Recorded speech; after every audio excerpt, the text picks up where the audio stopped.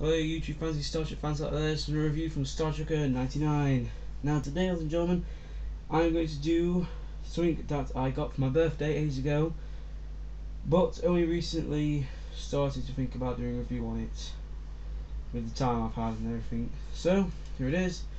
It is one of the rarest pieces to get in the whole of our country now, and that is the Art Asylum's Enterprise D. Now, this ship is a fabulous one. It's well, I say art asylum. It's Diamond Select because I can't find art asylum anywhere on the ship. Um, it was bought bought on eBay for me for my birthday. Uh, I haven't got the box. The stand on it isn't the proper stand. Here is the big stand, but unfortunately, as you can see, top bit is missing. I have that, I did send that with it, but really I've glued it and it, the ship fell off. Thank God it had no damage, but uh, there you go. But it is on a stand at the moment, uh, a small one which is for the saucer, which is meant to go here, so only the saucer the star drive, and that one's meant to go for the, this one's for the saucer. Um, I don't know about the Enterprise D. It's Galaxy class vessel. It was Captain Jean-Luc Picard's for the start of the Next Generation to Star Trek Generations when the Enterprise was destroyed by a Klingon bird of prey. Well, she won, but it was after, afterwards, afterwards sort of thing. It's something went wrong with the. I think it was something blue when Geordi was looking in the systems. Something, something blue. I can't remember what it's called now, but something like blue and like it was a coolant leak, and the star drive was like doomed. So they saucered it. Saucer got caught in the um, got caught in the like shift, like the wave, and lost the like the impulse engine at the back. They went down, and the ship just went into the planet. The ship was unsalvageable, so the Farragut and three other starships, which was No Berth and the Miranda class, came and rescued the Enterprise the survivors. No casualties, so look off. Not too bad. Um, onto the ship now. Okay, I'm gonna put the lights on at the back. I think now. I'm gonna sh show you here. To activate the lights on this ship, you have this little like grill bit here, which you have to push in. Once you pushed it in, oh god, um, pushed it in, it the lights will stay on. I also not pushing enough with force. But yeah, when it's on, it is on, and the ship will stay like that. Now, unfortunately, you probably can't see it very well now because the lights on. Well, they are quite bright, but you know, your Bussard collectors they light up, your deflector lights up, your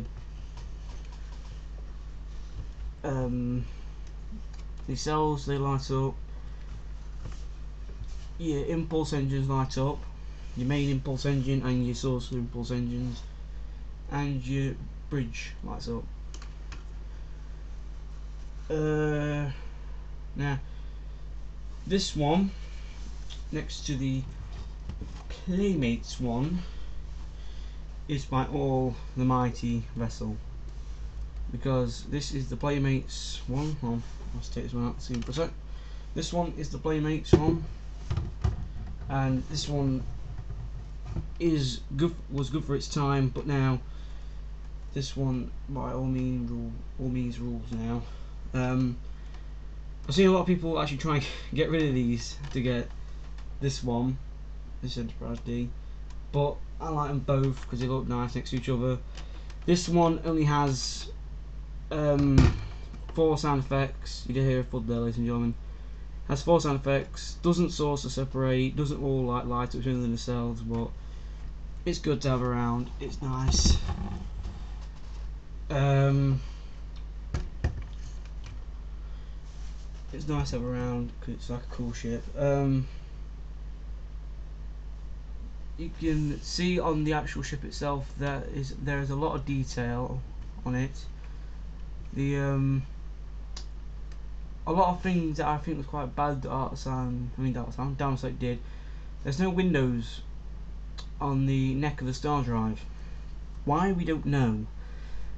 Uh, oh, they forgot. But we all know the neck of the Enterprise has windows. Even the Playmates got that right. Playmates got the window thing right. Try and get it in there. Playmates got that right with windows on. Um, but other than that biggish defect, the ship is quite nice. The um, it says the registration on it at the torpedo bays. I'm going to turn the lights off for a sec. It says the registration at the the torpedo bays. There, it says Enterprise. Um, uh, there's the Enterprise on it. Uh, I'm going to flick this down if I can, not let it topple over. But you can see the registry, um, Enterprise, USS Enterprise, NCC 1701D. The um, shuttle bay is a battery pack for the Star Drive, Star Drive, um, saucer. Um, bridge, you push that down, it makes the sound effects. Um, unfortunately, my one you cannot see the phaser strip, but it, it is raised in a way. You can just see that there. It is raised the phaser strips. But it's not just one like blank greyish line all the way around. It is detailed. You know, like a line goes through it, sort of thing. It's got like the little bits come off, like little sections in between them, sort of thing. But it's a very nice looking ship to have. Um, on this one, you do have a lot of the plugs that are plugged in here, here, um, here, not here, um, here and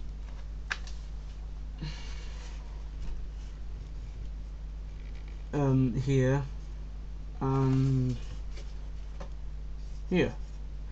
That is because this they use the same mold for the Enterprise D from All Good Things. I mean, the, say this one is used for All Good Things, Enterprise D. So there's a lot of plugs and bits in it, but this one is a nice ship to have next to the one. You can get the what's it, other things like I said. It's a nice one to have. It does saucer, but I don't see how it should it can saucer when on the show the big gun was actually connected to the main saucer. I mean saucer. Um, I'm, I'm forgetting things lately. These ships. Um, the main gun, which could pierce enemy shields just one blast, is connected to the star drive's neck. So I don't know how that is possible for that to actually happen, but it happened. It so separates the. I'm gonna just go ahead and do the main gimmick for the thing now, with its um, separating. Oh, no, no. That's odd. why, why not do it then? No. That's it reconnecting now. Well, um, bad news, and gentlemen. The um, saucer, oh, saucer today is a bit broken. the batteries have gone in the saucer, so I'm gonna have to just keep connected most of the time. But I'm just gonna show the star drive at the moment. Um, star drive, it's exactly the same as it is on the show. They've um, put the registry, the phaser strip here, the registry NCC-071D, can't see it properly, and also NCC-071D, Enterprise there, the battle bridge there, um, emergency pods here, here and here. Um, I'm going to stop this video now, because I know I've gone past the time. We'll stop it now, so, yep.